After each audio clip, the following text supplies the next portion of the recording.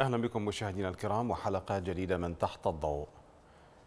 المخاطر المجتمعية جمة بسبب انتشار السلاح وفوضى الاتجار به في العراق إذ أصبحت ظاهرة ومشكلة تهدد الأمن المجتمعي إذ تشهد معظم محافظات ومدن العراق وفي مقدمتها بغداد انتشارا كبيرا لظاهرة انتشار السلاح المرخص وغير المرخص.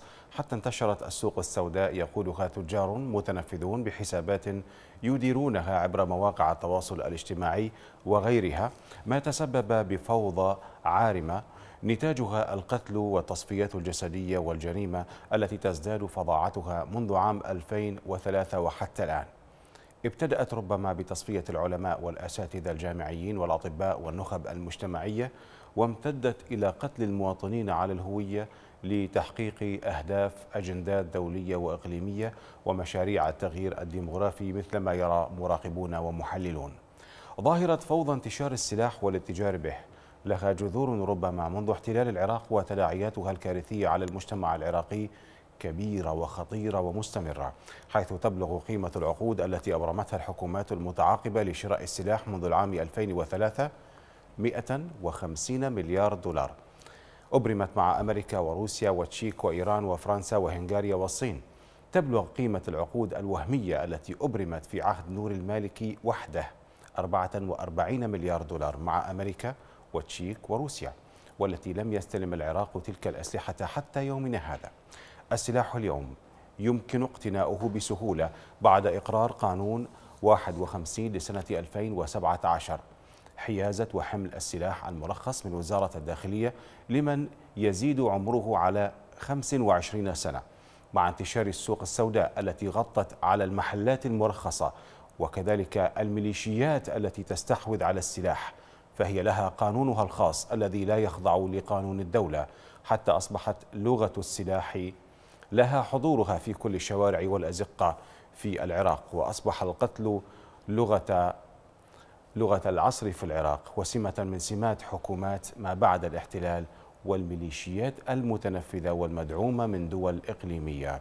نسلط الضوء مشاهدينا الكرام على أسباب انتشار السلاح والاتجار به في العراق مع ازدياد نسبة الجريمة والاغتيالات للمواطنين.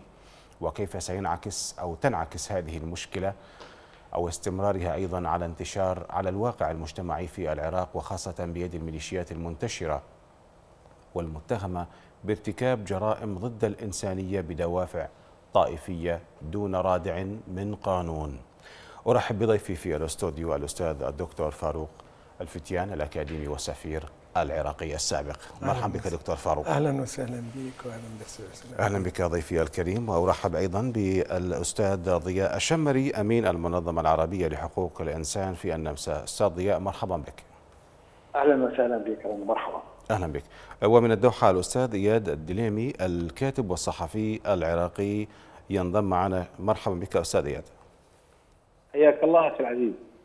أهلا بكم ضيوفي الكرام. اذا مشاهدينا الكرام نتابع سوية قبل أن نبدأ بالحوار. هذا التقرير الذي يبين مدى فظاعة المشكلة التي يمر بها العراق الآن حتى صار صوت إطلاق الرصاص وعمليات القتل والاغتيالات أمر بديهي وطبيعي في العراق منذ العام 2003 وحتى الآن. لنتابع. تشهد أغلب المحافظات العراقية وفي مقدمتها العاصمة بغداد انتشارا كبيرا لظاهرة متاجر السلاح المرخصة وغير المرخصة. ويتخذ بعض بائعي الأسلحة أسواقا خاصة بهم ويجري الترويج لهذه الأسلحة عبر التجار المتنفذين وحسابات يديرونها عبر وسائل التواصل الاجتماعي لتلبية طلبات الأسلحة المتزايدة في ظل غياب القانون والدور الحكومي للحد منها. كونها واحدة من أبرز الأسباب التي تنمي العنف وتغذي بشكل كبير النزاعات المسلحة. الفوضى العارمة التي أحدثها الاحتلال والحكومات الخاوية من بعده أدت إلى انتقال ملايين الأسلحة إلى أيدي الميليشيات التي تستخدمها في القتل والسرقات وابتزاز المواطنين مما يشكل تهديدا لاستقرار البلاد. وسط قلق كبير في أوساط المدنيين من شيوع تجارة الأسلحة وما تسببه من خطورة على الأرواح والممتلكات وارتفاع معدلات الجريمة. فيما قدرت القوات الأمريكية وزن الأسلحة غير المرخصة المنتشرة في الشارع العراقي ب 650 ألف طن معظمها من المسدسات والرشاشات. والمفارقة أن جميع أحزاب السلطة والأحزاب المتنفذة تدعو إلى حصر السلاح بيد الدولة من دون أن تقدم هذه الأحزاب أي بادرة تعزز من دعواتها تلك خاصة وأن غالبية هذه الأحزاب لديها ميليشيات مدججة بالسلاح إذا استمعنا مشاهدينا الكرام وشاهدنا هذا التقرير عن انتشار السلاح في العراق والمخاطر الجمة التي تهدد العراق. أرحب بضيفي مرة أخرى في الاستوديو الأستاذ الدكتور فاروق الفتيان الأكاديمي والسفير العراقي السابق. دكتور فاروق بلا شك أن مشكلة انتشار السلاح والاتجار به ربما يصفها البعض أنها سمة من سمات حكومات ما بعد الاحتلال. ازدياد معدلات الجريمة حصر السلاح بيد الدولة يعني 650 ألف طن من الأسلحة كشفت عنه الولايات المتحدة مجرد مسدسات وبندقيات. يعني في في ضوء هذه الفوضى من الأسلحة انتشار السوق السوداء مع ازدياد معدلات الجريمة الاغتيالات التي شهدها العراق منذ عام 2003 وحتى الآن. يعني نتساءل عن أسباب انتشار السلاح والاتجار به على هذا النحو المرعب في العراق. بسم الله الرحمن الرحيم. تحياتي لك وإلى الله. ضيوفك الكرام وبالأخص الأخ أبو أمين ضياء الشمري الصديق والأخ العزيز. حياكم الله. آه، بالمناسبة آه، الانتشار السلاح لم يعني أمريكا هي تطرح عن 650 ألف طن من الأسلحة وهي المسؤولة الأولى ما نقول الأخيرة ولكن هي الأولى عن انتشار هذه الأسلحة. بعد 2003 الكل يعرف أن أمريكا حاولت أن أولا حلت الجيش العراقي حولت المعسكرات اللي كانت تابعة للجيش العراقي إلى مناطق مفتوحة. سمحت للعصابات للميليشيات للسراق أن آه، تستولي على أسلحة الجيش العراقي ال- في تلك الفترة. بعد ذلك آه، المعروف أن وجار إيران. إيران لها ميليشيات ليست وليدة اليوم وليست وليدة 2003 خلال الحرب العراقية الإيرانية إيران أسست ما يسمى بمنظمة بدر. وقبل ذلك إذا نأخذها على لبنان منظمة أمل حركة أمل ومن ثم حزب الله. فإذا إيران من سياستها هي توزيع السلاح إلى الحركات اللي تنشئها في المنطقة سواء كانت في العراق أو غير العراق. والعراق لأنه بعد الاحتلال أصبحت السلطة غير موجودة. أمريكا سياستها فتحت الحدود على الغارب لمدة عام كامل. آه هذه الأسلحة آه وزعت إلى اتجاهات معينة. بعد 2005 2006 2007 بدأ التحرك آخر باتجاه حصر السلاح بجهات معينة وبميليشيات معينة. وأصبح إلى 2011 محسومة مناطق معينة يمنع بها اللي يحصل اللي يحمل مسدس يروح أربعة إرهاب. ومناطق أخرى آه، عند ما يتزوج أحد الأفراد تنزل مدافع رشاشة ومضادات للطائرة. فللأسف الأحزاب الحاكمة كلها تمتلك ميليشيات وهذه الميليشيات كلها تمتلك سلاح سواء كانت آه، سلاح مرخص أو غير مرخص. أنا أعتقد أنه السلاح اللي تمتلكه الميليشيات حتى إذا كان مرخص فهو غير خاضع لسلطة الدولة. لأنه هذا يستخدم في المجال اللي تستخدمه الميليشيا. وليس في قرار وزارة الدفاع أو قطاعات الجيش العراقي. بالفعل هناك تناقض يعني مناطق دون مناطق مناطق يعني يتم اتهام آه، ساكنيها عندما يوجد لديهم سلاح بالمادة أربعة إرهاب وهناك مناطق يكون فيها إطلاق الرصاص بشكل عشوائي في الأعراس والمناسبات وفوز المنتخب العراقي وعمليات القتل والاغتيالات. وال- والصراعات ال- والصراعات بين الأحزاب بين الأحزاب أو والميليشيات. بين حتى ال- ال- ال- العشائر أو الأفخاذ. نعم. نعم. إذا فعلا هذا تناقض. أرحب بالأستاذ ضياء الشمبري أمين المنظمة العربية لحقوق الإنسان في النمسا. أستاذ ضياء بداية مرحبا بك. يعني الأمن المجتمعي هو غاية دائما ما يسعى العالم دول العالم المتقدم دول العالم النامي إلى تحقيقها. يعني انتشار السلاح على هذا النحو في العراق وبهذا النحو المرعب بحيث أصبح إطلاق الرصاص وعمليات القتل والاغتيال أمرا طبيعيا وبديهيا في العراق واعتاد عليه العراقيون منذ العام 2003 وحتى الآن. هذه الفوضى إلى أي مدى هي ما مدى خطورتها على الأمن المجتمعي العراقي؟ بالبداية تحية إلى ضيوفك الكرام وتحية إلى كل العاملين في القناة الرافدين.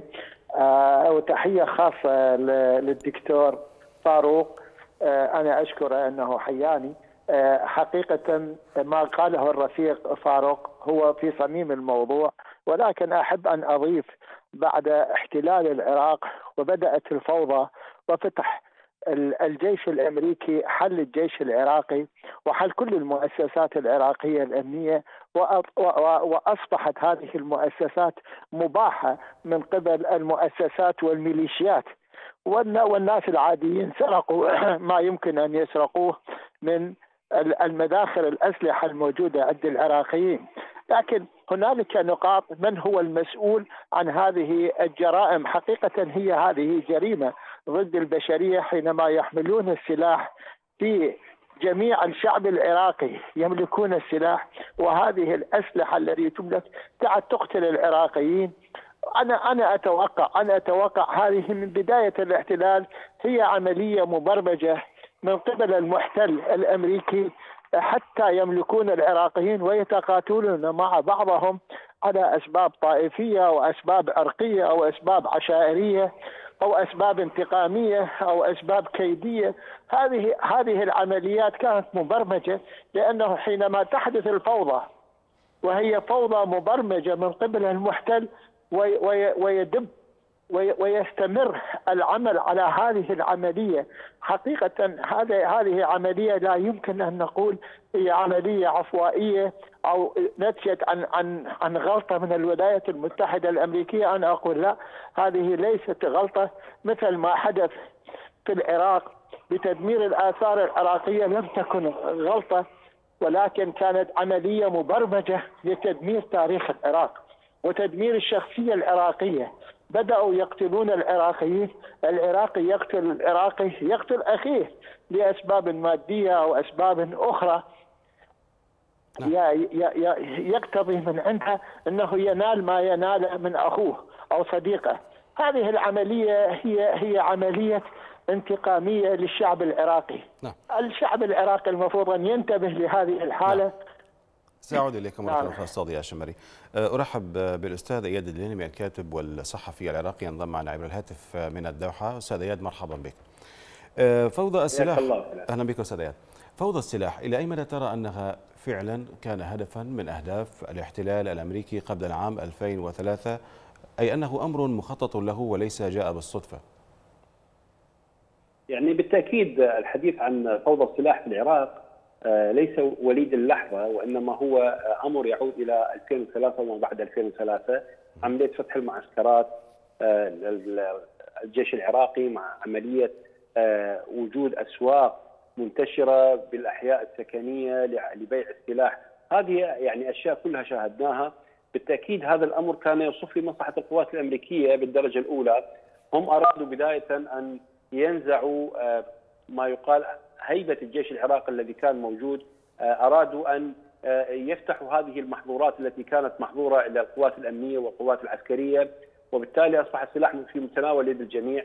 آه، شاهدنا ما هي تداعيات هذا الأمر بداية على القوات الأمريكية ذاتها التي يعني وقعت في شر أعمالها كما يقال عندما استولت المقاومة العراقية الباسلة على الكثير من مخازن السلاح وصارت تضرب بها القوات الأمريكية لكن طبعا بعد ذلك شاهدنا أن هناك عملية حصر للسلاح لكنها حصر للسلاح بيد مكون على حساب مكون آخر وليس بيد الدولة كما يدعي البعض.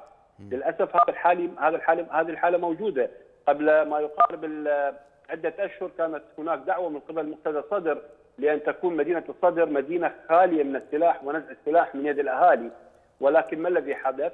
لم يحدث أي شيء، بقي السلاح بيد الأهالي، لم يتمكن أحد من أخذ السلاح من يد الأهالي في مدينة الصدر بينما على العكس تشاهد أنك لو كنت في الأنبار أو كنت في الموصل أو كنت في صلاح الدين فعلا أن آه، اقتناء السلاح جريمه. يأتي بعد ذلك عملية شرع شرعنة حمل السلاح وحيازته، هناك اليوم قانون آه، عراقي صدر قبل ما يقارب عدة أشهر أو ربما سنة آه، شرعا عملية حيازة السلاح نعم. وهناك الكثير يذهبون إلى الدوائر الأمنية المختصة من أجل الحصول على آه، سلاح آه، وترخيص رسمي. المشكلة أننا اليوم لا نجد أي جدية من قبل الدولة آه، ل- لمحاربة هذه الظاهرة أو محاولة حصر السلاح بيد الدولة، والسبب أول شيء اما إنه الدولة ضعيفة أو وسلطة القانون في هذه الدولة شبه غائبة، الشيء الآخر أن قوه الميليشيات الموجودة اليوم في الشارع العراقي والممتدة على طول خارطة العراق، هذه القوة أصبحت تضاهي بل تفوق في كثير من المراحل. آه، قوة وهيبة الدولة ليس من الناحية القوة العسكريه العسكرية فحسب وإنما حتى سياسيا. لم يعد هناك بإمكان رئيس الوزراء أن يحمل ميليشيا صغيرة موجودة في الشارع العراقي مسؤولية قتل أحد الأشخاص وهو يعرف والقانون يعرف والقضاء يعرف أن هذه الجهة متهمة بقتل شخص عراقي آخر، بالتالي غياب هيبة الدولة بشكل شبه كامل، غياب قوة الدولة وسلطانها وقانونها وعدم قدرتها على تنفيذ حتى القوانين التي تسنها أدى بنا إلى أننا نشهد اليوم حالة انتشار فظيعة جدا لهذا السلاح المنفلت وبيد جماعات دعمت ودربت كثير منها في إيران وبيد جماعات أخرى جماعات الجريمة جماعات مافيات كثيرة. اليوم انتشرت تحت غطاء هذه الميليشيا أو تلك الميليشيا. آه، اليوم هناك عملية تجارة رائجة جدا في للسلاح بالعراق. السعر السلاح سعر قطعة السلاح اليوم في العراق أرخص من سعر قطعة السلاح في دول الجوار. والسبب أن عمليات التهريب مفتوحة. آه، الدولة غير قادرة على ضبط هذا السلاح. ال- الأمر الآخر ان أن هذه العمليات تتم بحماية و و- و- وشرعنة كاملة من قبل الميليشيات التي لها نعم. القول الفصل في الوضع في الحالي هذه في النقطة العراق. أستاذ إياد اسمح لي فقط أن ننتقل بال... إلى الدكتور آه، فاروق. دكتور فاروق يعني هناك أمر آه، من التناقض. يعني آه، بداية صحيفة الإندبندنت البريطانية قالت بوصفها للميليشيات في العراق أنها تمثل ربما دولة في داخل دولة, دولة. دائما الشعار الذي تطلقه حكومات ما بعد الاحتلال دائما حصر السلاح بيد الدولة حصر السلاح بيد الدولة ولكن الأمر هنا فيه شيء كبير من التناقض. عندما يتم سن قانون عام 2017 المرقم 51 الذي يسمح ب لأي شخص بإمكانه أن يذهب مثل ما يذهب إلى الصيدلية لشراء دواء مثل ما يذهب إلى سوق الملابس لاقتناء آه، آه، أي شيء من الملابس. يذهب ليشتري ال- السلاح والشرط هو أن يكون عمره 25 سنة, سنة فما فوق. أي يعني نريد أن نفهم الحقيقة نصر في هذا يعني- التناقض؟ يعني- حصر السلاح بيد الدولة يعني وبيع هو السلاح. نرجع إلى مفهوم الدولة بالنسبة لهم. من هي الدولة؟ لا توجد دولة. بالنسبة لمن يحكم العراق اليوم يعتبر الدولة هي الأحزاب ال- اللي تستلم السلطة. أحزاب اللي اللي المستلمة للسلطة كلها تمتلك ميليشيات. هذه الميليشيات يعني إذا جينا هذه الميليشيات من أين أتت؟ كيف أتت؟ من هو السند؟ من هو اللي زودها السلاح؟ من هو اللي زودها المال؟ اذا هذه الميليشيات هي تعتبر جزء من ما يسمى الدولة اللي تحكم ال- السلطة اللي تحكم العراق. فإذا وجود الأسلحة لدى الميليشيات هو يعتبر بالنسبة لهم يعني إذا نيجي ناخذ حزب الدعوة أو نيجي ناخذ أي منظمة بدر أو أي من المنظمات أو أي من الميليشيات الموجودة. الآن جاوزت المئة مجموعة. هذه المجاميع الآن قسم منها غير منضبطة.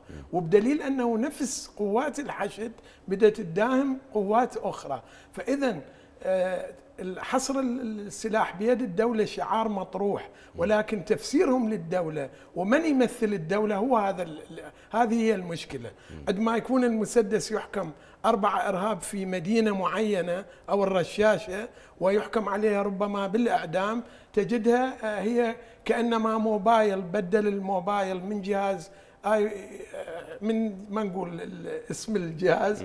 آه، من الجهاز النقال هذا الجهاز ال- القديم إلى الجهاز الجديد بدل قطعة السلاح أو بدل وبشكل علني وبشكل مفتوح وصورهم ويطلع بالأعراس وبالشوارع وبال حتى بالعرضات اللي يسموها العرضات. آه، تطلع أسلحة حتى مقاومة طائرات في هذه الأسلحة. عندما يصير صراع على قطعة أرض صغيرة تجد آه،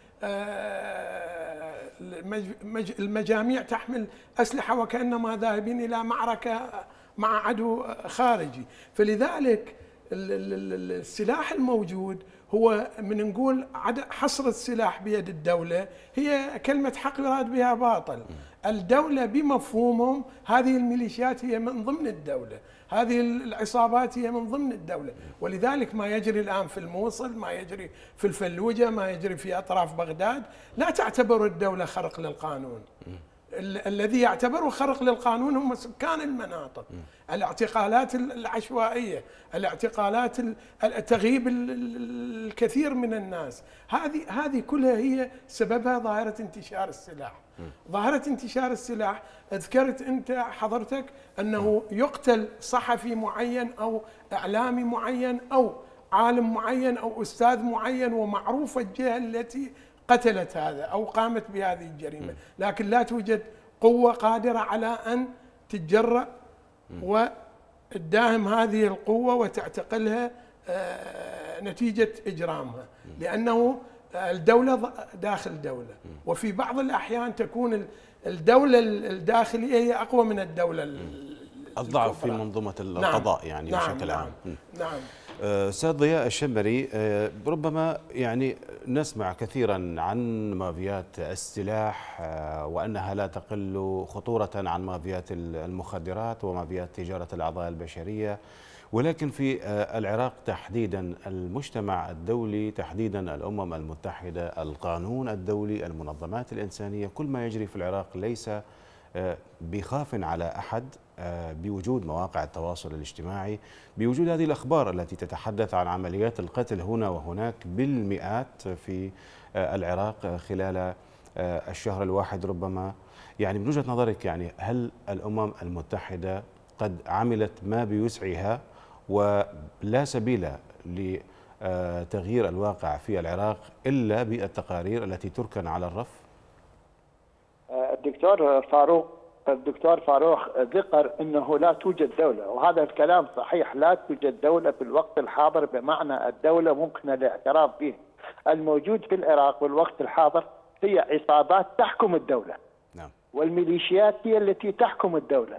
ليست الدولة لها سلطة على الميليشيات بالعكس وإنما هي الميليشيات لها سلطة على الدولة. اذا الأمم المتحدة تتعامل مع دولة وليست التعامل الأمم المتحدة أو المجتمع الدولي يتعامل مع عصابات، العصابات لا يمكن التعامل معها اطلاقا. هنا هنا تطلق مجموعة ومجموعة أخرى تقول هكذا. هذه هذه الأحكام هذه الأحكام توجد في العراق فقط. لا توجد في أي بلد آخر لأنه لا توجد دولة في العراق ممكن أن أن تحاسبها الأمم المتحدة.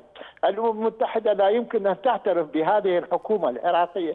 كحكومة عراقية ممكن الاعتراف بها دوليا. نعم هنالك العلم العراقي مرفوع على على السفارات العراقية ومرفوع بالجامعة العربية ومرفوع بالأمم المتحدة. ولكن هل موجودة فعلا حكومة؟ وإنما ذولا الحكومة مسيرين نعم. وليست مخيرين. يعني آه الأمم المتحدة آه أليست هي آه معترفة بحكومات ما بعد الاحتلال؟ يعني هل تجرؤ على عدم الاعتراف بحكومة آه والله. أنشأتها الولايات المتحدة بعد احتلال العراق؟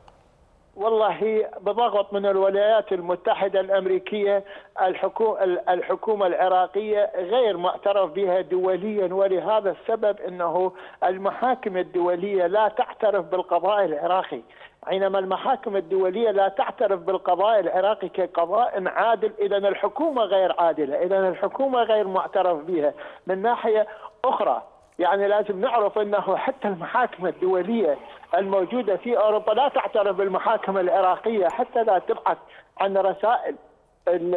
طلب مجرم قام بجريمة داخل العراق. لا يمكن هذه الدول أن تسلم هذا المجرم من العراق لأنه المحاكم والقضاء العراقي غير معترف به دوليا.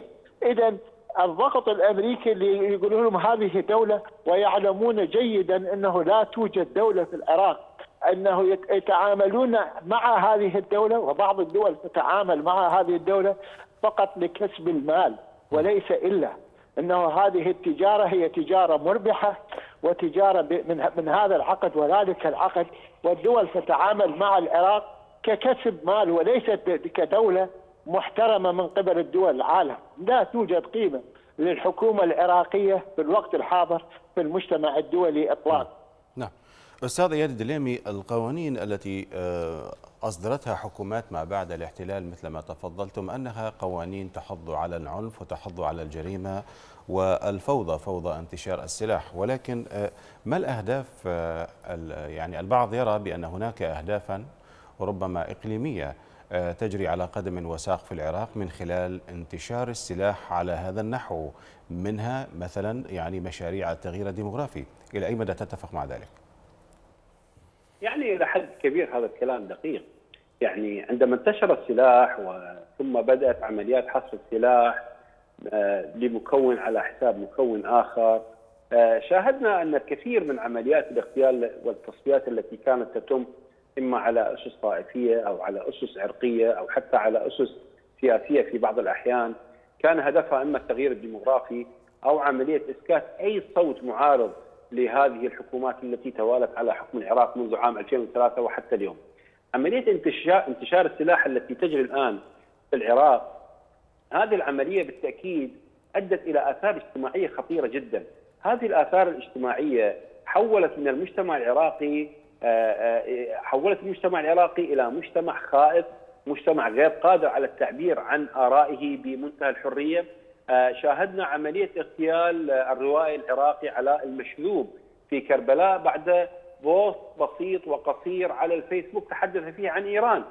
هل يعقل أن عملية اغتيال روائي مثل هذا في منطقة سكنية معروفة في داخل كربلاء تتم دون الإمساك بالفاعلين؟ الفاعل كما هو معروف وكما نشرت العديد من المواقع الإخبارية العراقية ينتمي إلى ميليشيات معينة. هذه الميليشيات تمتلك سطوة وتمتلك سلطة وتمتلك سلاح وتمتلك دعم إيراني كبير جدا سكتت وصمتت الدولة ومرت الجريمة. مثل هذه الجرائم كانت كثيرة وكثيرة جدا. هذه كانت رسائل ملغمة، رسائل مليئة بالرصاص، رسائل مليئة بالدم لكل من يحتزم أو يرغب أو يريد أن يعارض ما يجري اليوم في العراق. بالتالي عملية انتشار السلاح تأكيد هي مدعومه من أطراف إقليمية عملية انتشار السلاح اليوم لو يعني آه، راجعنا بعض التقارير الإخبارية التي نشرت في مواقع عراقيه لوجدنا أن الكثير من من السلاح كان يمر ولا زال يمر عبر بوابة إيران. نعم. هذه البوابة التي يتم تهريب كميات كبيرة من السلاح منها. آه يا أخي ليس الأمر يعني تعدى عملية انتشار الكلاشينكوف والمسدس. اليوم هناك عمليات استح... يعني الشرطة العراقية تعلن بين وقت وآخر عن عملية آه، السيطرة والاستحواذ على كميات كبيرة من ال C4 طيب هذا ال C4 كيف يدخل؟ هذا ال C4 كان يدخل من إيران وما زال يدخل من إيران. وهناك جهات تقوم بعملية استخدام هذا ال C4 في التفجيرات، طبعا التفجيرات في العراق في الغالب هي تفجيرات سياسية تقوم بها ميليشيات وجهات لديها أجندات معينة في داخل العراق، بالتالي عملية حصر السلاح والحديث عن حصر السلاح آه، هذا هذا يكون عندما تكون هناك رغبة حقيقية من قبل الدولة، عندما تكون حكومة قادرة، عندما تكون هذه الحكومة فعلا جاءت لتن... يعني نابعة من, من هذا الشعب. الحكومات وكما جرت العادة منذ عام 2003 وحتى اليوم هي حكومات شكلية صورية تتحكم بها ويتحكم بها من الخارج من قبل هذا الطرف أو ذاك. جاءت لتنفيذ أو تأتي لتنفيذ أجندات معينة لا قدرة لها ولا يعني ولا أي نفوذ ولا أي سلطة لها على تنفيذ الكثير من الوعود والقوانين التي تطرحها هي وتسنها وتشرعنها. بالتالي نحن اليوم أمام معضلة كبيرة وكبيرة جدا، هناك اليوم عشائر مسلحة تسليح عالي المستوى، الأمر لم يعد يقتصر حتى على الميليشيات، نحن تجاوزنا موضوع الميليشيات، تجاوزنا موضوع امتلاك السلاح، العشائر اليوم باتت تمتلك أسلحة كبيرة وثقيلة وشاهدنا الكثير من المواجهات التي حصلت في البصرة، في العمارة، هذه المواجهات التي استخدم فيها سلاح ثقيل ومتوسط بالإضافة للسلاح الخفيف، بالتالي نحن أمام مشهد معقد، مشهد آه، يعني أي حكومة حتى لو جاءت غدا حكومة عراقية منتخبة و من قبل الشعب العراقي وتمثله تمثيلا حقيقيا ستواجه مشكلة كبيرة وكبيرة جدا. تراكمات السنوات الماضية آه، كثيرة وربما واحدة منها وأعقدها وأصعبها هي موضوع انتشار السلاح الذي تحول اليوم إلى أداة لتنفيذ الأجندات وتحول إلى أداة للتغيير الديمغرافي وتحول إلى أداة للتغيير الاجتماعي وتحول إلى أداة للاستحواذ والسلطة من قبل هذا الطرف أو ذاك، نعم. دكتور فاروق الاحتلال الأمريكي كان يبشر عبر أبواق أبواقه الإعلامية قبل عام 2003 بأن العراق سوف يكون ديمقراطيا ولكن نرى أن من خلال أه، عمليات الفساد ولنتحدث فقط بموضوع الأسلحة، الفساد فيما يخص موضوع الأسلحة والعقود نعم. الوهمية أكثر من 44 مليار دولار في عهد المالكي وحده نعم. أه، أبرمت من أجل أسلحة لم تصل إلى العراق نعم. حتى الآن. نتحدث عن جزئية الفساد وهي جزئية ليست طبعا ممكن أن تكون نعم. كلية وليست جزئية نعم. إسكات الأصوات الحرة المطالبة بالديمقراطية بالقتل عبر بالكاتم إسكات آه، التظاهرات التي تنطلق ضد الفساد الحكومي من وجهة نظرك مع وجود هذا الكم من الأسلحة عشائر مسلحة ميليشيات مسلحة, مسلحة كلهم نعم. هؤلاء هم يمثلون عناصر من منظومة الوطن نعم. هم ينتمون إلى الوطن نعم. هل هذا التثقيف بأن المفسد هو صاحب أو المفسد هو الذي يحكم في المنطقة الخضراء ألا يجدي نفعا من خلال آه، أي مواقع تواصل اجتماعي تثقف آه، في سبيل أنه إنهاء هذه الأزمة من خلال تظاهرات يعني تتضافر الجهود فيها من قبل العشائر من قبل حتى العناصر. من قبل حتى من نعم. قبل العناصر نعم. التي آه، يعني منتمية للميليشيات. نعم. آه، بس حبيت أعقب على نقطة دور الأمم المتحدة. آه تفضل. آه للأسف دور الأمم المتحدة سلبي قبل احتلال العراق وكنا نتذكر أيام الحصار ودور الأمم مفتشي الأمم المتحدة وكشفت الوثائق دورهم التآمري على العراق وطرحهم تقارير على الرغم عدم امتلاك العراق لأسلحة الدمار الشامل. كان دور المفتشين دور سيء وبالأخص آه، كان دور البرادعي ودور باتلر آه، كان آه، مضاف إلى ذلك بعد الاحتلال مندوبي الأمم المتحدة اللي جو للعراق باستثناء البرازيلي اللي اغتيل في سنة 2004 آه، باستثناء هذا المندوب كلهم كانوا يعني مثل ما كشفت الأمور ومثل ما آه، توضح ان إنه آه، أناس يبحثون عن مصالحهم الخاصة نعم. وكان أحدهم يذهب لزيارة المراقد في كربلاء أو النجف وكأنه هو من معتنق هذا المذهب أو ذاك وكان يذهب إلى المراجع ويس تأنس رأي المراجع في الوقت اللي هو ممثل للأمم المتحدة اللي المفروض مثل ما ذكر الأستاذ ضياء أن يكون هو آه، موقفه موقف دولي تجاه آه، دولة رسمية وعضوة في الأمم المتحدة. نرجع إلى المسألة الديمقراطية. الديمقراطية هي كلمة آه، طرحها الرئيس جورج بوش امتلاك الأسلحة الدمار الشامل مع غياب الديمقراطية في النظام العراقي. إزالة أسلحة الدمار الشامل ما وجد أسلحة دمار شامل. طرح الديمقراطية والتجربة الديمقراطية لم يحققوا أي ديمقراطية وبالدليل أنه الانتخابات اللي جرت والدستور اللي أقر في المرحلة الأولى أقر على أساس المحاصصة الطائفية. وهذه المحاصصة هي تنسف الديمقراطية قد ما أنت تضع عقد في ال في ال في الدستور نفسه. هذا هو هو عرقله الديمقراطية. وكنا نعرف أنا عشت التجربة الأولى تجربة الانتخابات الأولى كنت في بغداد. إلى عام 2006 آه، شفت يعني انتخابات صورية وآخر انتخابات جرت قبل عام آه، كانت انتخابات يعني سيئة يعني دكتور و... إذا سمحت لي لو لو نسبة العفو نسبة نعم. المشاركة لم تتجاوز 20% نعم. ومع ذلك يعتبرها الناس أنه جرت بطريقة ديمقراطية بصيغة أخرى هل نعم. يمكن استثمار هذا الانتشار الفوضوي للسلاح آه، في حالة إيجابية لتغيير الواقع العراقي؟ للأسف آه، يعني توقعنا أنه انتفاضة البصرة تستمر انتفاضة بغداد تستمر كانت هناك انتفاضات فعلا حقيقية في المحافظات الغربية ولكن وئدت بطريقة آه، آه، تآمرت فيها إيران مع الولايات المتحدة بوجود المالكي وما آه، ظهر من آه، داعش وما ظهر بعد 2000 يعني بعد داعش وئدت هذه المحافظات ودمرت هذه الانتفاضات.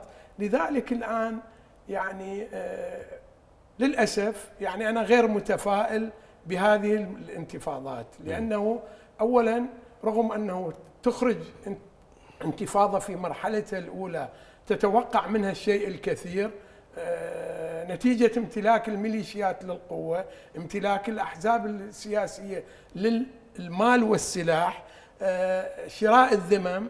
هذا وكتم الأفواه. هذه ثلاث عوامل هي أساسية لتدمير أي ولذلك النشأ يعني الانتفاضة اللي جرت في بغداد آه، أخمدت في البصرة في نعم. لا زال نعم نعم الشعب بشكل كامل يعول عليه ولكن نعم. نحتاج إلى فعلا آه، انتفاضة آه، قوية داخل نحتاج إلى قيادة مركزية تضم جميع شرائح العراق وليس محافظة من المحافظات نعم. توحيد الجهود هذا باعتقادي ممكن أن يولد هذا نعم. الشيء أستاذ ضياء الشمري أمين المنظمة العربية لحقوق الإنسان في النمسا أنتم في النمسا أستاذ ضياء هل هناك يعني أه، ثمة مشاريع أه، قمتم بها في هذا الإطار في إطار يعني مواجهة الانتشار الفظيع للسلاح وازدياد نسب الجريمة في العراق؟ بالوقت الحاضر حقيقة إحنا ما قمنا بهذا يعني ضد السلاح بس إحنا نقوم اعتصامات ونوصل رسائل إلى الجهات الرسمية النمساوية ونلتقي مع المسؤولين النمساويين ونقول لهم ما ماذا يحدث في العراق من عمليات إجرامية وانتهاك لحقوق الإنسان ومن جراء هذه الأسلحة المنتشرة في العراق. نعم هناك هناك هناك محاولات ولكن ولكن نحن نعلم جيدا إنه الولايات المتحدة الأمريكية نفسها عندها مشكلة بانتشار الأسلحة عند المواطنين في داخل الولايات المتحدة الأمريكية والقتل هناك موجود ومشروع بالولايات المتحدة الأمريكية. هذا ما يحدث بالولايات المتحدة الأمريكية وما يحدث في العراق بالنسبة للولايات المتحدة الأمريكية هو أمر طبيعي القتال والذبح الموجود لأنه في بلادهم في بلادهم موجود على القتل والذبح. في الولايات المتحدة الأمريكية موجود القتل. حقيقة إحنا آه، قاعد نبتعد عن الحقيقة، الحقيقة لازم ننظر إحنا كشعب عراقي كعراق كعراقيين موجودين على هذه التربة على أرض الوطن، ماذا نريد من هذا البلد؟ هل نريد إحنا دول العالم أو الدول الأوروبية تسعى لإنقاذ العراق؟ إحنا واقعين في في هذا في وهم الدول الأوروبية والولايات المتحدة الأمريكية أتت الولايات المتحدة الأمريكية لمصالحها الخاصة فيها وهذه المصالح نفذت جزء من عندها والجزء الأكبر لحد الآن لا ينفذ. الدول الأوروبية ليس لها مصلحة بانقاذ العراق من المأزق الذي هو عليه. الولايات المتحدة تقمع أي دولة تريد أن تسعى لإنقاذ العراق من المحنة الموجودة فيه. لأنه هذه المحنة الموجودة في العراق حقيقة هي هي مبرمج لها معد لها. بالبنتاغون أعدوا لها. ولحد الآن الدستور وضع ليس بريمر وضعها، البريمر هو نفذ المشروع، هذا الدستور العراقي البنتاغون هو اللي وافق على هذا الدستور، هو اللي وافق على حل الجيش العراقي، هو الذي وافق على حل المؤسسات العراقية، اذا هو مبارك بورك من قبل الولايات المتحدة بتدمير الدولة العراقية ومن خلال تدمير الدولة العراقية تدمير الشخص العراقي والمجتمع العراقي. ومن قتل بالعراقيين من بدأوا بالعراقيين إحنا نعرف كثير من المترجمين الذي ذهبوا مع الولايات المتحدة الأمريكية أثناء الحصار في العراق وكانوا يبحثون عن مكانات العلماء العراقيين. شو السبب يبحث عن مكانات العراقيين؟ وين وجود مكاناتهم وسكن العلماء العراقيين. اذا اذا هذه العملية عملية انتقامية من العقول العراقية والانتقام من العقول العراقية الموجودة بالعراق. بالوقت الحاضر بالوقت الحاضر وبعد الاحتلال مباشرة بدأ باغتيال كل العناصر العراقية وعلماء العراق. من حتى الفنانين لم يخلصوا من من هذا الانتقام. حقيقة هذا العملية مبرمجة وإذا كان الشعب العراقي يريد إنقاذ نفسه الشعب العراقي هو المسؤول على إنقاذ نفسه. لا توجد دولة أن تعين هذا الشعب على إنقاذ نفسه. كل دول الجوار كل دول الجوار ولا أستثني أحد لها ضلع في تدمير العراق. ال- ال- ال- ال- ال- الميليشيات الموجودة في العراق لها دعم خارجي. داعش لها دعم خارجي. ال- الميليشيات السنية المتحكمة في الرمادي لها دعم خارجي. لازم نحو نعلم نعلم من هو المستفيد من هو المستفيد من من قتل العراقيين وذبح العراقيين. الج- الجيش العراقي حل بب- ب- بعملية سياسية خبيثة وهذا هو المريود منه إنه تدمير هذا الشعب. إرادة الشعب العراقي هي ممكن أن تنقذ الشعب العراقي. لا توجد جهة سياسية ممكن أن تنقذ الشعب العراقي ولا دولة في العالم عندها استعداد أن تدخل بهذه المناحرات السياسية لا مصلحة لها أبدا. نعم. أستاذ إياد الدليمي الاحتلال الأمريكي وإيران يعني الكثير من المحللين يرون بأن لهما مصلحة مشتركة في إيصال العراق إلى هذه الحالة من الفوضى. ولكن السؤال أستاذ إياد ما النقطة التي يراد أن يصل العراق إليها بعد أن وصل إلى ما وصل إليه؟ يعني هو أعتقد النقطة التي يراد أن يصل إليها العراق قد وصل إليها العراق. العراق اليوم دولة ضعيفة، العراق اليوم دولة شبه مفككة، العراق اليوم لا يملك مقومات صناعة، العراق اليوم لا يملك مقومات آه، صادراته النفطية، النفط الذي يذهب آه، للتصدير في أغلب الأحيان لا أحد يعرف كم يصدر العراق يوميا من نفط، إحصائيات أوبك تشير إلى ما يقارب الأربعة مليون برميل يوميا، لكن الكلام يدور عن أرقام أخرى أكبر، حتى النفط الذي في باطن الأرض بات اليوم مبيوعا مسبقا. بالتالي أتوقع أن العراق وصل للنقطة التي يراد أن يصل إليها من قبل من لا يريدون لهذا البلد أن يكون. آه، أتوقع أن آه، ما يجري اليوم هو آه، المحصلة هو الثمرة التي أرادتها أمريكا في لحظة معينة وأرادتها إيران في لحظات أخرى. اليوم أمريكا موجودة أيضا في العراق موجود لها قواعد خاصة بعد ما ما يعرف بمكافحة الإرهاب وظهور داعش. بالنسبة لإيران اليوم إيران موجودة على طول خارطة ال ال ال ال ال الوطن العراقي. أتوقع أن لكلا البلدين مصلحة كبيرة جدا في العراق ولكلا. وكلا البلدين حققت كثير من مصالحهما في العراق. هذا الانتشار الفوضوي للسلاح هذا آه، انعدام وجود الدولة بسلطتها بقوانينها بتشريعاتها ببرلمانها. آه، هذا هو ما يراد للعراق اليوم العراق يمتلك جيش ضعيف جدا. آه، وإن كانت قيم التسليح العالية التي اشترى بها العراق السلاح إلا أن هذا الجيش شاهدناه ماذا فعل آه، في الكثير من المنازلات للأسف لأنه جيش غير مدرب، جيش بني على أسس طائفية، جيش بني على أسس عقدية منحرفة، جيش يستمد قوته من قوة هذه الميليشيا وذاك الزعيم، بالتالي نشاهد اليوم أن الوضع القوة العسكرية العراقية التي كانت في يوم من الأيام آه، مصدر فخر لكل عراقي انتهت. آه، العراق اليوم يمتلك بنى تحتية منهارة جدا. قطاع الكهرباء ما زال يعاني رغم مرور يعني عقد ونصف العقد على آه، احتلال العراق عام 2003 آه، شبكة الصرف الصحي والمياه منهارة بشكل شبه تام. القطاع الصحي طبعا هذا حدث ولا حرج القطاع التعليمي وما إلى ذلك. بالتالي وجود عراق مفكك عراق ضعيف. آه، عراق لا يملك مقومات حتى النهوض مستقبلا لأن الكثير من بناه التحتية انهارت. الأخطر من هذا أن حتى البنى الاجتماعيه التي كان يرتكز عليها العراق في سنوات طويلة سابقة بدأت تتآكل وتتفكك بفعل ما تم آه، منذ عام 2003 حتى اليوم، بالتالي أتوقع أن الوضع خطير وخطير جدا.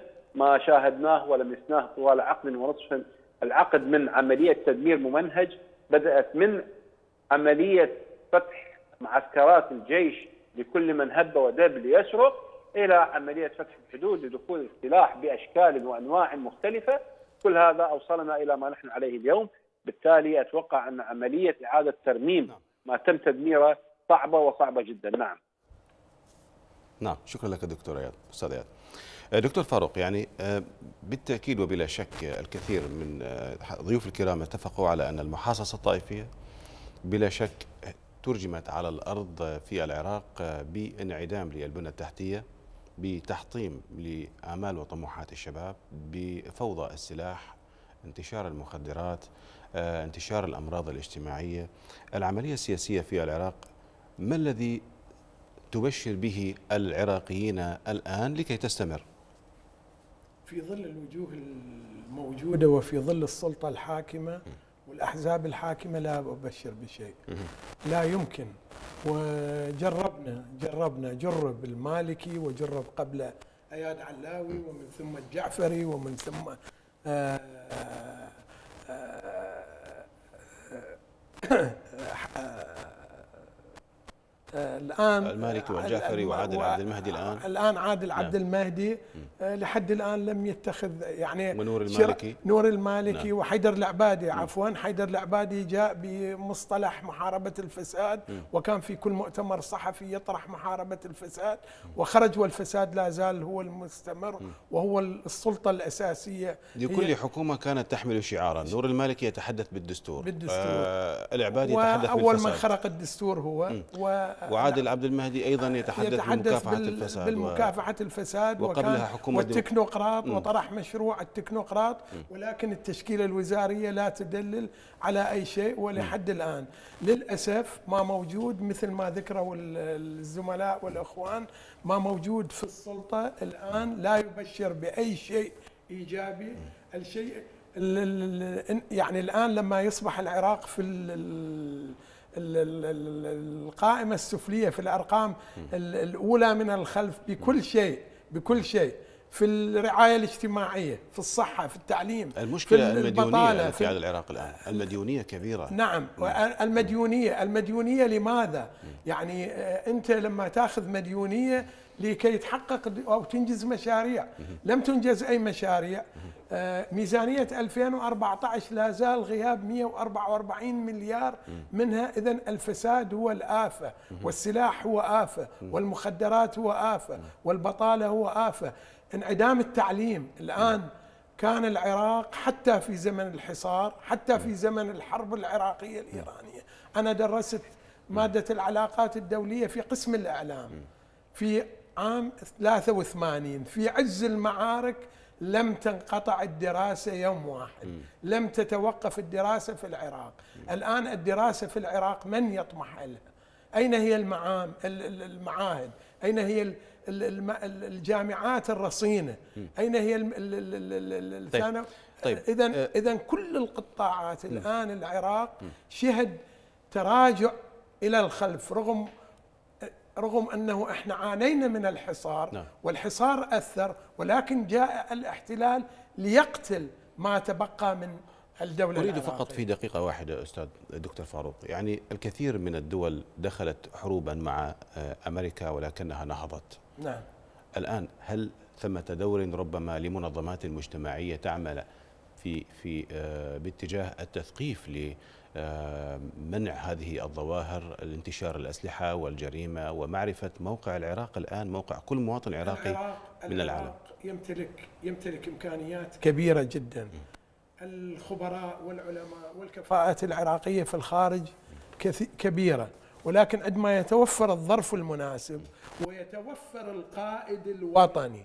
وأركز على القائد الوطني لأنه بدون قيادة حقيقة بدون قيادة قادرة على اتخاذ قرار مناسب لا يمكن نعم. وفق هذه المو... الحكومة الموجودة لا يمكن أن يقوم للعراق قائمة في هذه المرحلة. شكرا جزيلا لك الأستاذ الدكتور فاروق الفتيان الأكاديمي والسفير العراقي شكرا السابق. شكرا شكرا ضيف الكريم وشكرا لك أستاذ ضياء الشمري أمين المنظمة العربية لحقوق الإنسان في النمسا، شكرا جزيلا لك أستاذ ضياء.